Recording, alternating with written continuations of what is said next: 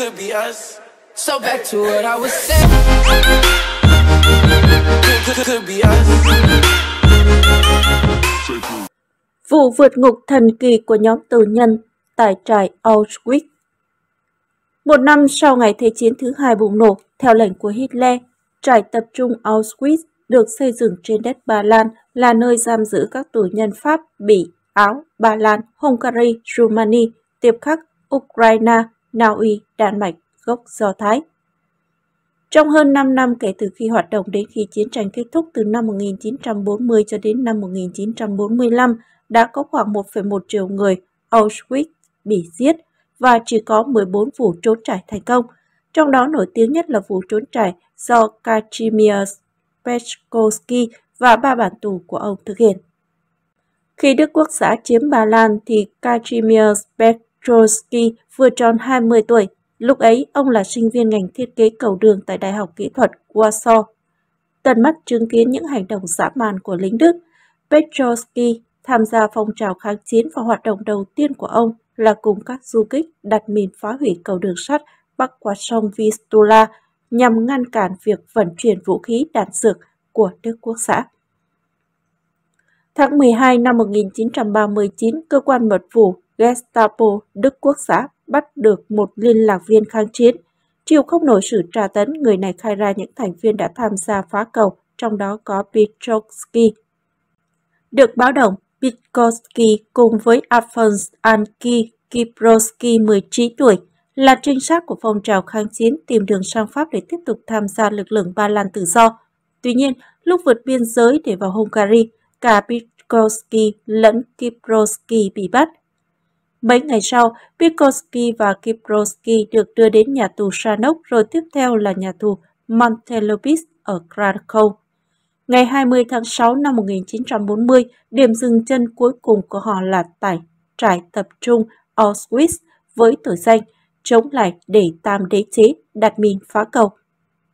Cũng cần nói thêm rằng mỗi khi có tù nhân chuyển đến trại Auschwitz, một số ít còn khỏe mạnh sẽ được trại trường là trung tá Rudolf Hoss cho sống để làm việc, số còn lại bị đưa vào phòng hơi ngạt. Trong số những người được cho sống có Biskowski.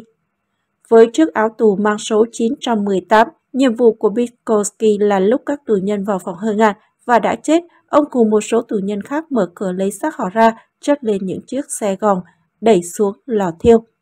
Theo Biskowski, trung bình mỗi ngày có khoảng 600 tù nhân bị đưa vào phòng hơi ngạt, nhưng đến cuối năm 1941, ngày nào cũng có 2.000 tù nhân bị giết. Hơi ngạt không đủ, thiếu tá Eric Kron, phó chỉ huy trại, bắt trước sáng kiến của trại Sobibor, cũng là một trại tập trung nằm trên đất Ba Lan. Kron ra lệnh cho tù nhân tháo động cơ công suất 200 mã lực của một chiếc xe tăng rồi đặt lên một cái bể lớn bằng bê tông. Ống khói nối dài ra đi thẳng vào một phòng kín diện tích 100 mét vuông. Sau khi lùa 600 tù nhân vào phòng, đóng chặt cửa, Eric đích thân bật công tác khởi động. Do công suất động cơ đã được chỉnh hết mức nên chỉ trong vòng 30 phút, tất cả tù nhân đều chết do ngộ độc khí dioxide carbon. Lúc ông ta ra lệnh cho tù nhân mở cửa đưa xác sang lò thiêu, cả 600 thi thể vẫn đứng sát nhau vì không gian quá chật, chẳng còn chỗ để họ ngã xuống. Thời điểm cuối năm 1941, trại Auschwitz có hơn 900 tù nhân, cả nam lẫn nữ được Trung tá Rudolf Hoss cho sống để làm việc. Sau này khi đã trốn thoát, Vygotsky kể về công việc của những tù nhân được cho sống như sau. Tù nhân nữ có nhiệm vụ cắt lấy tóc trên các tử thi nữ rồi kết thành từng cuộn. Tóc này sau đó gửi về Đức để làm áo chống đạn. Họ cũng bẻ sang vàng trong miệng tử thi, thu hồi những gọng kính bằng vàng hoặc bạc, đồng thời tìm kiếm nữ trang giấu trong quần áo, số còn lại làm trong xưởng may. Tù nhân nam một số nấu chảy nữ trang đúc thành từng thỏi, số khác làm ở xưởng đóng giày, xưởng cơ khí, nhưng phần lớn vẫn là lấy xác chết ra khỏi các phòng hơi ngạt, đưa vào lò thiêu. Thiêu xong, tro cốt của họ được đổ xuống những chiếc hố dài 60 mét, rộng 15 mét, sâu 7 mét, rồi lấp đất và trồng cây. Ngày 20 tháng 6 năm 1942, với nhiệm vụ chỉ huy nhóm tù nhân lấy xác từ phòng hơi ngạt rồi đưa xuống lò thiêu, nên Bikowski được phép đọc danh sách những người sẽ bị hành quyết để lập kế hoạch vận chuyển xác. Thế nên, lúc biết Bendera, Bandera thở cơ khí quê ở Krot Ukraine là bản thân của Bekowski nằm trong danh sách. Ông quyết định trốn vì biết sớm một gì mình cũng theo chân Bendera.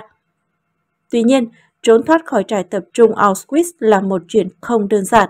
Ngoài 6 lớp hàng rào thép gai cùng 24 tròi canh, trên tròi lúc nào cũng có hai lính Đức với một khẩu đại liên, thì còn có 240 lính SS là binh chủng thiện chiến hàng đầu của Đức Quốc xã, cùng với 24 con chó săn, chia làm 6 ca, mỗi ca chịu trách nhiệm tuần tra 4 tiếng trong phạm vi trại.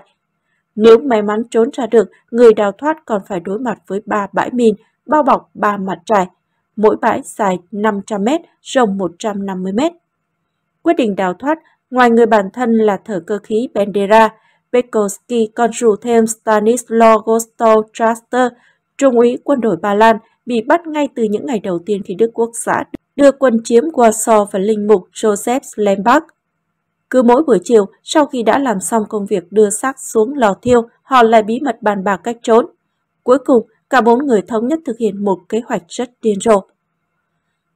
2 giờ chiều ngày 27 tháng 6 năm 1942, thợ cơ khí Bendera vào gara lấy chiếc xe hơi hiệu Stay 220 của thiếu tá Paul Croman, chỉ huy tiểu đoàn lính SS ở trại Auschwitz đem ra chạy thử vì buổi sáng ông vừa mới sửa xong. Gara này nằm cạnh nhà kho chứa quân phục lính SS và không ai và không ai canh gác. Theo kế hoạch, trước khi đem xe ra khỏi gara, Ben Renda bằng mọi cách phải nhanh chóng đột nhập vào kho, lấy cắp 4 bộ quân phục lính SS, 4 đôi giày và 4 chiếc mũ kepi. Việc lấy cắp quần áo, giày mũ rất nhanh gọn vì trước đó Bendera đã ước lượng số đo của từng người trong nhóm đào thoát. Chưa hết, ông còn tiện tay lấy thêm 4 khẩu tiểu liên Sten, 4 bằng đạn và 8 quả lựu đạn, tất cả được giấu dưới gầm ghế sau của chiếc Stay 220. Điểm hẹn đón Chester, Lembach và Viskovsky là một đoạn đường ngang nằm giữa các lò thiêu xác. Vẫn theo kế hoạch, chỉ mỗi Wiskowski nói giỏi tiếng Đức nên ông có nhiệm vụ lái xe. Linh mục Lembach cũng bập bẻ được chút đỉnh sẽ ngồi cạnh ông, còn Charter và Benrenda ngồi ở ghế sau, nhưng vì Benrenda cứ hế sửa xong một chiếc xe, ông lại lái nó chạy vòng vòng quanh trại để thử máy. Bị nhiều lính Đức biết mặt, nên theo lệnh của Bekowski, Berenda phải ngồi cúi mặt xuống và chiếc mũ kề bì đổ trên đầu cũng phải kéo sụp xuống. 2 giờ 30 phút chiều, Berenda cho xe chạy vài vòng quanh sân trại và cứ đi được một đoạn, Berenda lại tắt máy rồi bước xuống, làm như quan sát động cơ để lính Đức trên tròi canh không nghi ngờ. Đến đoạn đường ngang, nằm giữa các lò thiêu xác, ông dừng xe và vừa sở nắp cabo, ông vừa kín đáo quan sát. Thời điểm này lò thiêu xác đang hoạt động nên các tù nhân khác đã được cho về trại. Chỉ có Sutter và linh mục Lambach ở lại làm nhiệm vụ giám sát theo sự phân công của Bikowski nên không có lính canh. Rất nhanh chóng, cả bốn người thay quần áo cải sọc trắng đen bằng bốn bộ quân phục SS mới tinh. Khi xe dừng lại trước cổng chính, Bekowski nghiêng người ra đủ để cho tên lính gác nhìn thấy phù hiệu SS là cấp hàm trung úy. Vội vã tên lính giơ tay lên trước mặt chào lớn, Hitler phản tuế rồi nhanh chóng mở cổng. Khi xe qua khỏi, ngoái nhìn lại, Bekowski còn thấy tên lính quay điện thoại, chắc là báo cho bà cổng kế tiếp rằng xe của sĩ quan SS vừa đi ra. Đúng như Bekowski dự đoán, khi thấy chiếc Stay 220 từ xa, thành chắn barrier đã được dở lên trong lúc, ngoại trừ Bekowski lái xe. Ba tù nhân còn lại súng trên tay, đạn lên nòng, hễ thấy có gì bất thường là bắn rồi chạy. Linh mục Lembach kể, Xe vừa đi hết tầm nhìn của bọn lính gác, Bekowski phóng như điên dại đến một khu rừng gần thị trấn Markov Podhalansky, cách trại Auschwitz khoảng 60 km. Xe có dấu hiệu hết xăng vì theo quy định. Khi Berenda thử xe, xăng không được phép đổ đầy bình, nên chúng tôi cho xe lùi vào một bụi rậm, rồi chạy bộ. Sầm tối, cả nhóm chập chờn ngủ dưới một gốc cây lớn. Mưa sáng, họ chôn giấu quân phục SS cùng tất cả súng đạn, rồi thay vào đó là bốn bộ quần áo thường dân, của tù nhân bị buộc phải cởi ra trước khi vào phòng hơi ngạt do Bekowski và Jaster cất giấu từ trước. Tiếp theo, họ chia tay nhau, mỗi người đi một hướng vì theo Bekowski, cơ hội sống sót sẽ ít hơn nếu họ vẫn cùng đi chung với nhau. Trải qua 6 tháng lẩn tránh, Bekowski đến được thành phố Tichil, quê hương của ông. Tại đây, ông được biết là vài ngày sau khi ông trốn khỏi Auschwitz, lính Đức đã giết cha mẹ ông để trả thù. Bằng giấy tờ giả mạo, ông xin vào làm trong một trang trại gần đó. đồng thời tham gia một nhóm kháng chiến do Trung úy Adam Kost chỉ huy cho đến ngày Ba Lan được Hồng quân Liên Xô giải phóng. Sau chiến tranh, Pekovsky được trao tặng huân chương Đài Vàng Trắng. Năm 2006, ông được phong là công dân danh dự của thành phố Tchill. Ông qua đời vào ngày 15 tháng 12 năm 2017 ở tuổi 98. Với Pereira, ông trở lại Brestov, sống với người vợ đã kết hôn từ năm 1930 bằng giấy tờ giả. Ông mất năm 1970. Riêng linh mục Joseph Lambert sau khi thoát khỏi Auschwitz, ông trốn vào một tu viện ở Sterichards, cách trải Auschwitz chỉ 155 km. Gia đình ông bị Đức Quốc xã giết sạch để trả thù. Ông qua đời vào năm 1971 vì bị xe buýt tông phải lúc băng qua con đường ở Waterwitz. Người cuối cùng trong nhóm đào thoát là Trung úy quân đội Ba Lan Stanislaw Gostojaster. Lúc còn ở trại Auschwitz, Charter là một thành viên trong mạng lưới kháng chiến ngầm.